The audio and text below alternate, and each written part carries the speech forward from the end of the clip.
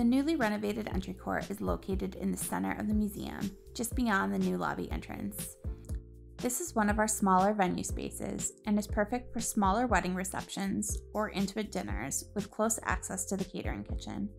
The room allows for easy access to all wings of the museum and features artwork from the museum's collection or traveling exhibits.